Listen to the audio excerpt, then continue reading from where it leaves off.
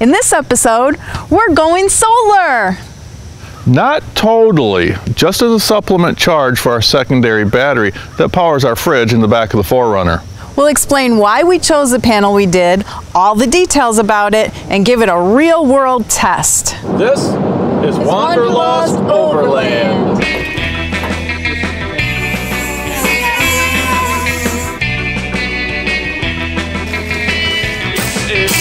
Get to there. Let me see it. No, get your own. I want to No, get your own.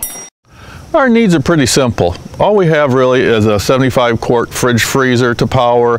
Um, we have batteries to charge up for the cameras, phones. Um, we have a water pump to power and a CPAP device at night. That's what our secondary battery system is designed to take care of.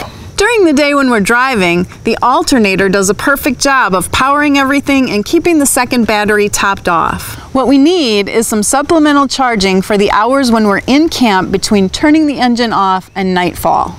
So what panel do we need? This was our first hurdle we had to jump. We like the idea of a fixed panel. It's already there, all wired up, no having to take it out, put it away, anything like that. But for our application, they just aren't practical. And here's why. The only time we'll need it is in camp. While we're driving, the 4Runner's charging system provides plenty of power. When camped, we prefer to park in the shade and that won't do us much good for gathering sunlight. We don't like the idea of having a fixed panel exposed to the harsh weather all the time, like hail, uh, tree branches falling on it, and we tend to get ourselves into some tight spots. Damage to anything that's mounted on the roof is likely, if not inevitable. Portables, in general, are much lighter. And then there's flexible versus rigid, monocrystalline versus polycrystalline, just one panel or two panels hooked together, and of course, cost. Now you can go on YouTube and see the comparisons between the quality units and the cheaper panels. Some of the cheaper ones put out some decent power, a few even equal to the more pricey ones. But how long will they last? And if or when they fail, will the seller stand behind them? As usual, everything has its pros and cons. We went into the selection process thinking solar is solar, right? How hard of a decision could it be? Oh my gosh, there are so many choices, and the price range is a mile wide. We found ourselves becoming victims of research, overload. So we started asking around for recommendations on Facebook groups, uh, forums, and from our friends at Overland Power Solutions. During our research, one panel in particular kept coming up as highly recommended over and over, the Bug Out 120 from Overland Solar. So we looked into that one much, much closer, and we found that that one was most likely to fulfill all our needs and expectations. So again, we got in touch with our friends at Overland Power Solutions and got one on order, along with a simple wiring harness to hook it up to our secondary battery. Well, here it is. Uh, overall, it measures about 57 inches, not including this flap, by 21. These are SunPower Generation 3 solar cells. During our research, we learned that these are most likely the most efficient solar cells available. They produce 7 to 10 amps per hour with a 23.7 solar cell efficiency. Now that is well above average. There are grommets and D-rings all along the edges so you could either hang it on something, uh, tie it down to the roof rack, or just be able to prop it up for a better angle at the sun. The output has an SAE plug on it. These are really easy to find. That makes it simple to either buy an extension cord or make one yourself. One of the best features of this panel is it's made in the USA with 90% of its materials sourced from the US. The backing material is this nice thick durable cloth and then there's a, a wide strip of Velcro to hold it all closed. Now this folds up really nice and tight, easily stored, and there's little or no chance of it bending too much and harming those solar cells.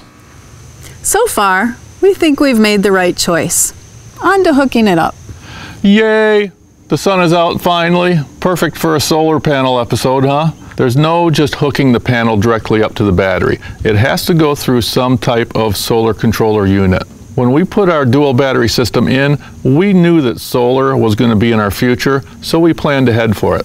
Our RedArc DC to DC charger that we got from Overland Power Solutions has a solar controller built in. All we have to do is hook the negative from the panel to the negative and the positive up to this yellow wire that comes out of the charger. Then we ran the wires over from our battery to a standard SAE plug right here by the windshield. This rubber molding piece is extremely easy to just pop out and drill a hole through it. We backed it up with a thin piece of sheet metal to make this connection really nice and solid. The best thing, there's no drilling through the firewall or the body. You might be asking yourself, why did they mount it right here? The answer, visibility. We can see ourselves early morning, taking off from camp, a few minutes later looking in the mirror and seeing our panel flopping around behind us. Being here with the wire draped over the mirror greatly lessens the chance of that happening. And now, on to the testing phase. Now for the last couple of weeks, we have been using the heck out of this thing in a wide range of conditions. We were hoping to get back to you with a consistent number. This is how much it puts out, this is how much we use. What we've learned is there are so many variables that affect the panel's performance and the load. Our load when we're parked and the engine's off is pretty much just our fridge. And that varies greatly depending on air temperature, how full it is, if we're using half of it as a freezer, and how much we're opening it and getting into it. The panel is totally affected by the angle of the sun in the sky. The output is much greater when the sun is right above us. The angle of the panel to the sun, straight on is best. Up a little more, more this way with your right hand up and then out. Perfect, just stay right there. Cloud cover and haze has a pretty major effect. Even how clean the panel's surface is. Dust is a major sunblock. The best we got out of our panel was 95 watts, and that's not bad for one that's rated at 120. The sun was at its highest, the panel was pointed right directly towards it, and there wasn't a cloud in the sky. At this rate, there was enough power to keep our big ass fridge at 36 degrees and enough left over to charge our battery back up after a hard night's use. Unfortunately, here in the Midwest, we only get perfect conditions maybe 50% of the time. And a lot of our travels take us deep into heavily forested areas, so shade is a major factor. But still, even under cloudy skies and partial shade, we're still able to get an honest 25, 35 watts out of it. Plenty to power the fridge all day, but with less power to charge the battery back up with. Our conclusion?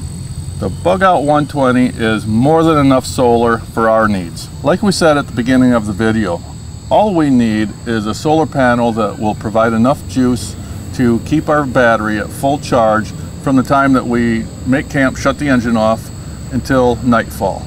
The Bug Out 120 does that perfectly. Best advice we can give you is if you're unsure of how much power you need out of a solar panel, contact our friends at Overland Power Solutions.